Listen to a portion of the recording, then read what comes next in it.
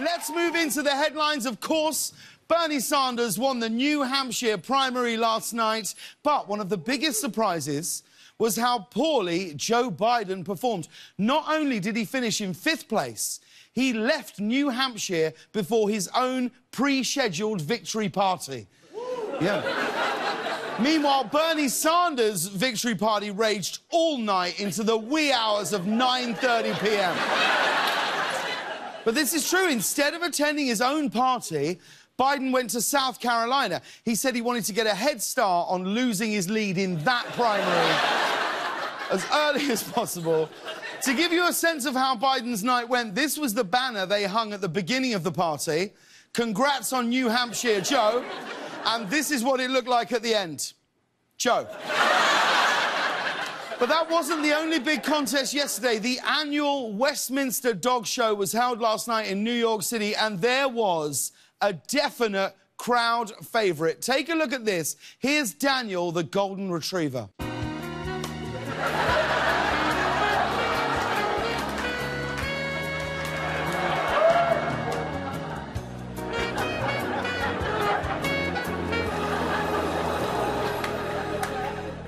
I know.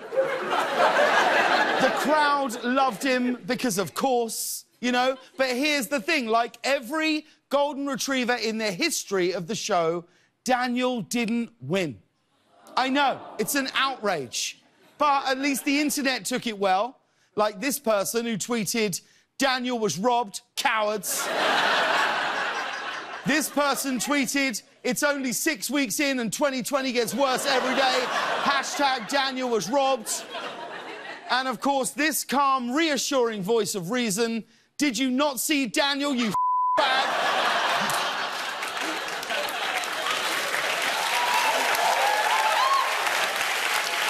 By the way, here is the dog that Daniel lost to, Siba, the standard poodle, and I'm sorry, this is bull. Siba looks like she would send a waiter over to my table during brunch to tell me and my friends to quiet down.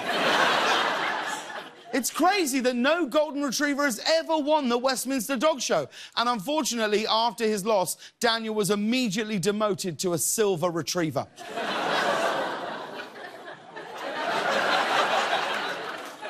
Yeah, we weren't sure about that joke either. we were like, is it funny? We didn't know. And you've let us know.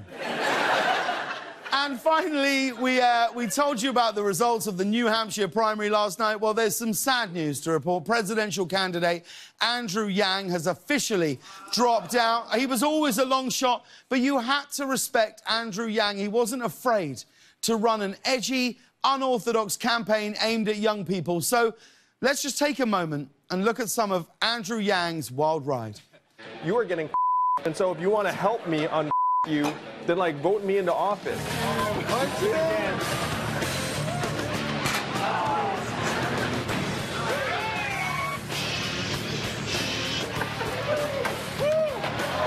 Andrew Yang campaign brought to you by Mountain Dew Code Red.